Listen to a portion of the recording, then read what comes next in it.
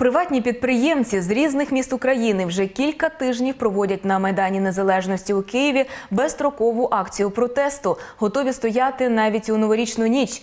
Тим часом урядовці вирішили, хоч якось допомогти найманим працівникам та підприємцям.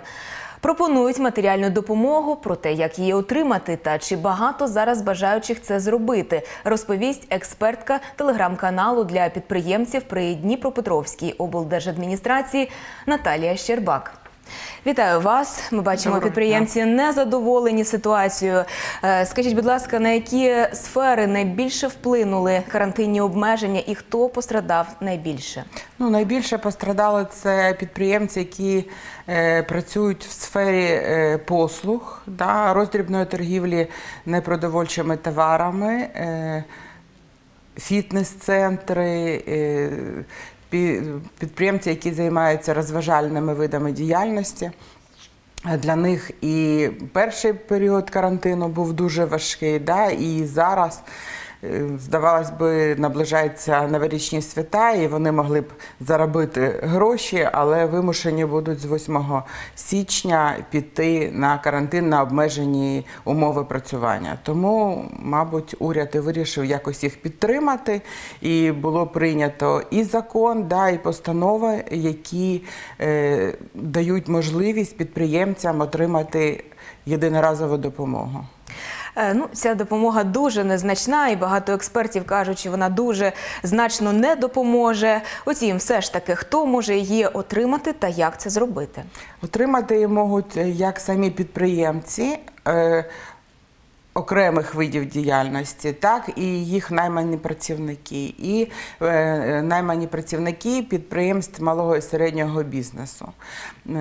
Перелік видів діяльності, е, за як при наявності яких можна отримати цю допомогу, затверджений постановою Кабінету міністрів. І тільки в тому разі, якщо у підприємства або у підприємця цей вид діяльності в реєстраційних документах значиться як е, основний.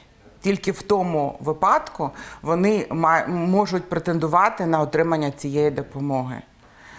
Якщо він стоїть там другий, третій, то незважаючи на те, що вони вимушені будуть не працювати в період карантину, отримати таку допомогу вони не зможуть.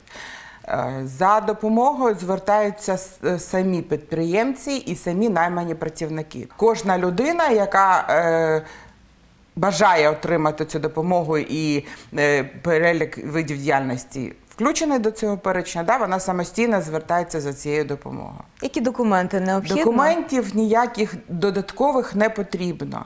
Е, Необхідно тільки подати заяву, але заява ця подається в електронному вигляді через програму Дія.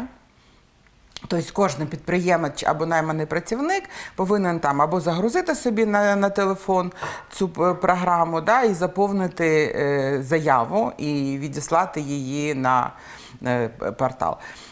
Тобто, якщо завантажити цю програму, да, то там все ну, зрозуміло, як це зробити. І коли е, ця заява буде відправлена, да, то проводиться перевірка правильності заповнення даних на саму конкретну фізичну особу і на підприємство чи підприємця, які е, претендують на отримання цієї допомоги. До якого числа ще можна е, заповнити цю заяву, і скільки підприємців вже зараз е, це зробили? Ну, згідно постанови Кабінету міністрів, термін був визначений 21 грудня. Але на брифінгу да, представники Мінсоцполітики і цієї програми Дія вони сказали, що він е, відтермінований до 31 грудня. Знаю, що ці заяви досі подаються, і е, підприємці, їх наймані працівники отримують таку допомогу. На сьогоднішній день десь е, близько ну, 300 тисяч підприємців по Україні вже отримали цю допомогу. Дякую, що сьогодні до нас завітали. Про те, як найманим працівникам та підприємцям отримати грошову допомогу від держави, сьогодні розповіла експертка телеграм-каналу для підприємців при Дніпропетровській облдержадміністрації Наталія Щербак.